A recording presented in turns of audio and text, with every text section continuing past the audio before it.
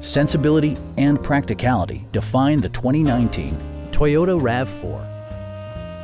Performance and efficiency are both prioritized thanks to the 2.5-liter four-cylinder engine. And for added security, Dynamic Stability Control supplements the drivetrain. Toyota infused the interior with top-shelf amenities such as one-touch window functionality, a trip computer, a power liftgate, lane departure warning, and remote keyless entry. For drivers who enjoy the natural environment, a power moonroof allows an infusion of fresh air.